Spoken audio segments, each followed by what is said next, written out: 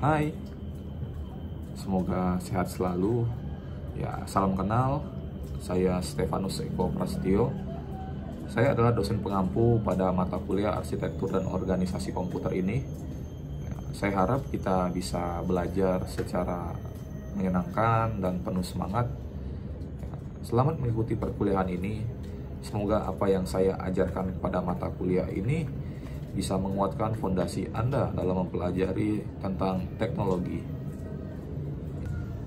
Pada mata kuliah ini, mahasiswa mempelajari cara kerja komputer personal, cara kerja laptop, cara kerja perangkat seluler, jenis perangkat keras dan perangkat lunak, konfigurasi printer, instalasi sistem operasi Microsoft Windows 10, dan instalasi Linux Ubuntu tahapan troubleshooting dan maintenance, mempelajari dasar jaringan komputer, keamanan komputer, konsep virtualisasi dan komputasi awan.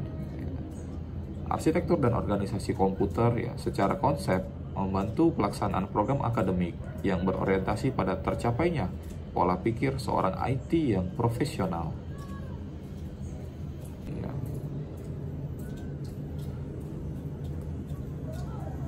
Pada mata kuliah ini terdapat 14 topik. Ya, topik pertama itu pengenalan perangkat keras dan personal komputer. Topik kedua tentang perakitan komputer. Ya, topik ketiga tentang perangkat keras tingkat lanjut.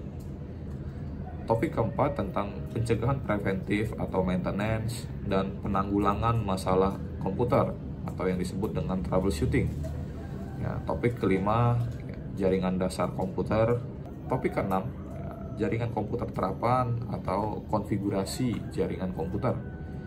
Ya, topik ketujuh tentang laptop dan perangkat seluler. Ya, topik ke-8 itu ada printer. Topik ke-9 virtualisasi dan komputasi awan. Topik ke-10 instalasi Microsoft Windows 10. Topik 11 konfigurasi Microsoft Windows 10. Topik 12 itu ada sistem operasi seluler Linux, dan Mac OS. Ya, topik ke-13 kita akan mempelajari tentang keamanan komputer dalam kehidupan sehari-hari.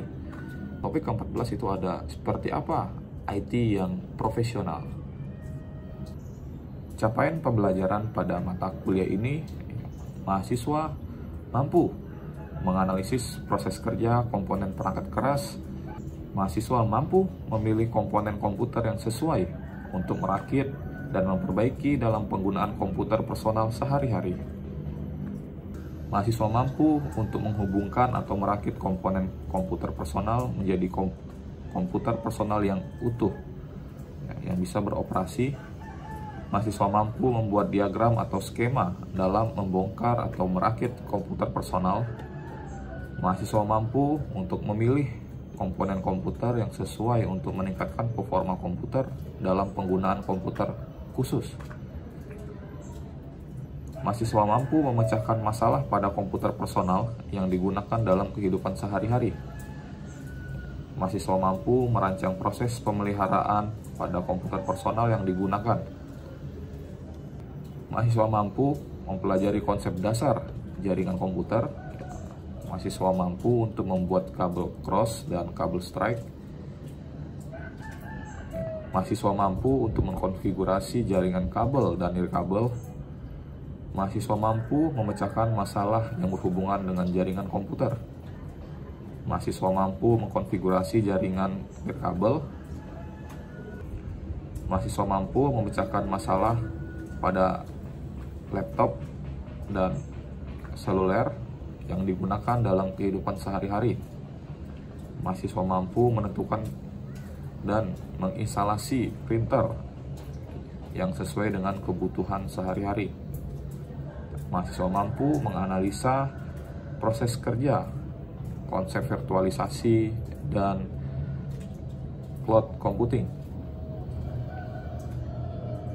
Mahasiswa mampu menginstalasi sistem operasi Microsoft Windows 10 mahasiswa mampu melakukan manajemen dan perawatan terhadap sistem operasi Microsoft Windows 10. Mahasiswa mampu menginstalasi sistem operasi Linux Ubuntu. Mahasiswa mampu menganalisa ancaman, ya, prosedur, keamanan, dan penggunaan komputer sehari-hari. Mahasiswa mampu menafsirkan peran dan tanggung jawab profesi IT yang profesional. Ya. Bahan kajian yang akan kita pelajari pada mata kuliah ini adalah perangkat keras dan komputer personal, perakitan dan pembongkaran PC, pengenalan perangkat keras komputer khusus atau komputer yang dikhususkan dalam kehidupan sehari-hari, pencegahan dan pemecahan masalah komputer dalam kehidupan sehari-hari, konsep jaringan, penerapan jaringan kabel dan nirkabel, laptop dan perangkat seluler atau perangkat mobile, printer, virtualisasi dan komputasi awan, Microsoft Windows 10, konfigurasi Windows 10, Linux Ubuntu, keamanan komputer dalam kehidupan sehari-hari dan IT yang profesional. Ya, bahan pustaka utama yang akan kita gunakan pada mata kuliah ini adalah Cisco Networking Academic IT Essential versi 7. Ya, dengan pustaka tambahan kita bisa mengambil dari CompTIA A+, ya, CompTIA Network Plus dan CompTIA Security Plus. Ya. Pada setiap topik mata kuliah arsitektur dan organisasi komputer ya, itu terdapat video, kemudian materi yang berbentuk PowerPoint, ada kuis di setiap topik pembelajaran. Terdapat juga forum pendapat di mana Anda bisa menyampaikan pendapat Anda sesuai pertanyaan yang diberikan oleh saya. Terdapat juga ruang diskusi ya, di mana Anda ya, bisa berdiskusi secara bebas sesuai dengan topik yang diberikan. Terdapat juga tugas ya, berupa video di beberapa topik yang harus dikerjakan.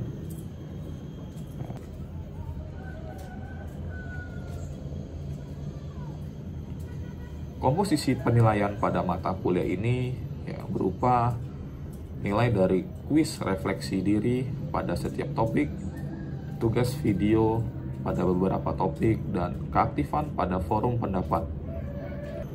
Jangan lupa untuk memperkenalkan diri Anda pada forum perkenalan diri di topik pendahuluan. Let's be fun and enjoy the journey.